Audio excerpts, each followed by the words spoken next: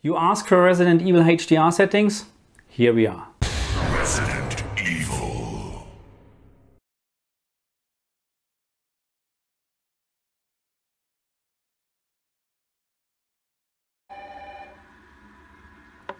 Who could that be?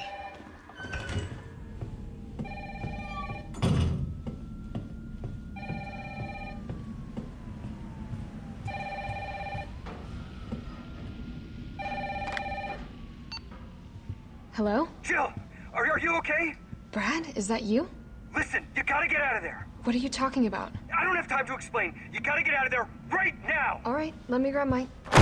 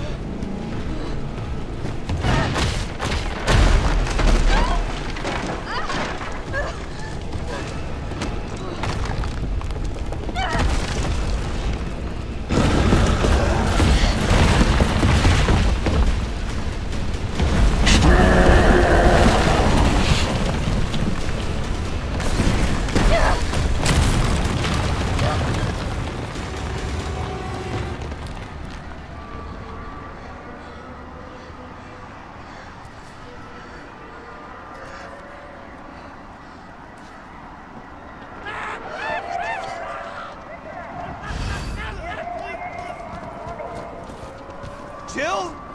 Over here! Brad, You okay?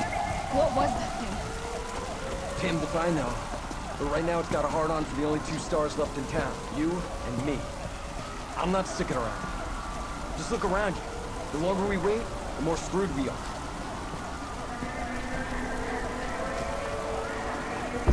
This all happen so fast? I don't know. One fucked up thing always leads to another. It's like Arklay on steroids.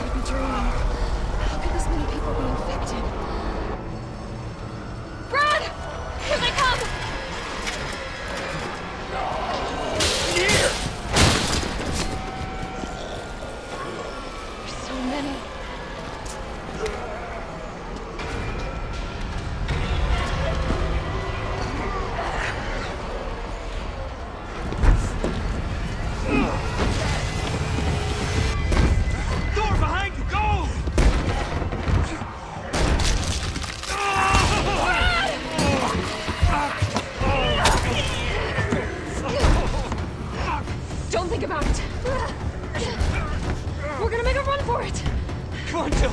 We know how this ends. No, I don't. Are we still a team? Always. Then do me a favor. Don't fuck up like I did. Go! You...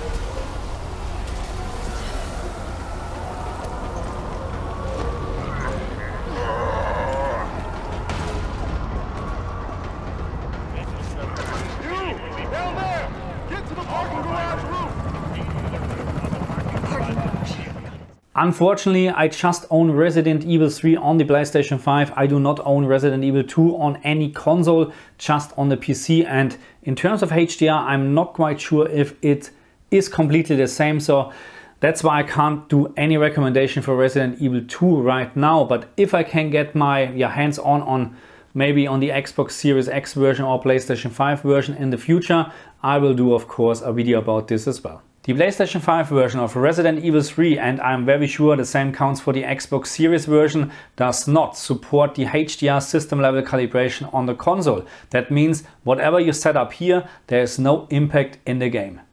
Let's talk about the HDR in-game settings in Resident Evil 3 and I have to warn you, do not use those settings as instructed on the screen because if I would do this, for an example, on an LG CX as I own, you will end up with just around 550 candela maximum peak brightness. But if you use those menus with my recommended settings and I will share my settings of course in a second, then you end up actually with a maximum peak brightness of around 840 candela. So again, those menus here or this menu, the test pattern here, the first one and the second one do not use it as instructed on the screen because otherwise you end up with wrong HDR. Before I now share my recommended settings for the LG CX and a couple of other TVs, let's have a very quick look on my findings in terms of the maximum peak brightness. With my recommended settings for the LG CX, C1, C2 and G1, we would have around 840 candela maximum peak luminance, which is perfect in my opinion for those TVs. For the QN95B, this is my brand new LED TV. I have actually a maximum peak brightness around 1700 nits. I measured around 1700 nits in Cyberpunk back then and this is really amazing in terms of HDR gaming, not just for gaming, also for movies. And with my recommended settings, we have around 1700 nits. Last but not least, and just keep in mind, I do not own the S95B or the G2, so that's why I can't verify those settings. But in terms of the maximum peak brightness, we know that they roughly can achieve 1000 nits and with my recommended settings, we can do this. And now let's talk about my settings. And here we are with my recommended settings for Resident Evil 3 on the PlayStation 5, but I'm very sure in terms of HDR, you can apply the same settings for the Xbox Series version as well. But please do me a favor, verify those settings on the Xbox Series and put in the comment section what you think. And I like to mention this again, my recommended settings for the S95B and G2 are really just recommendations because I can't verify those values. I really just calculating them out of the other stuff or from my analyzers, but I do not know how it looks like in real, okay? So again, please do me a favor, give it a try and put in a comment section if those values are fitting the S95B and G2 or maybe not. Let me just quickly explain what minus 1, plus 2 and plus 6 means in terms of HDR settings.